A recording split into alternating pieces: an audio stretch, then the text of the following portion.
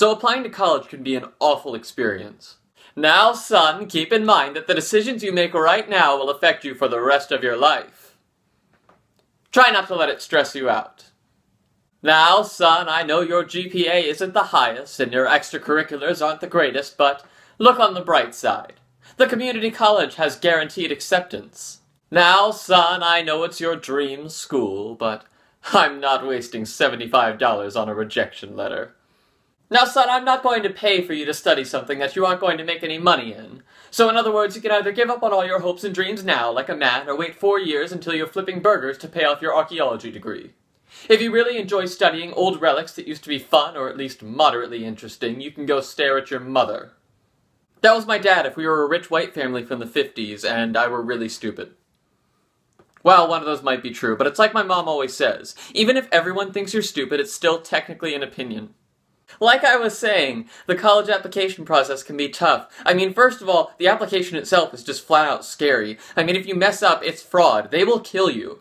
Okay, maybe they won't kill you, but they put some scary ass warnings at the end of that application. By submitting this application, you agree that all of the aforementioned statements are truthful. If it is discovered that any of these statements are false, we will eat your dog. I think I'm going to check my work on this one. So next, you have to find a teacher who's willing to recommend you. Basically, just find anybody who's not willing to crush your spirits and dreams right in front of your face. But the tricky part is, teachers generally hide the fact that they hate you unless you ask them for a favor, so Bring a friend to get it on video, could be fun. And of course, on top of all that, you need your standardized tests, because even if you're majoring in art history, the only thing that really matters is English and math.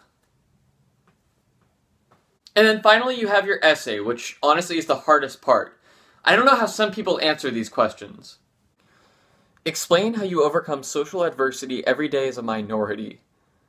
Okay, I guess that one doesn't really hit my demographic. Explain how you've overcome the challenge of immigrating to America? Okay. I guess I have to do the last one? Illustrate the challenges you face learning English as a second language.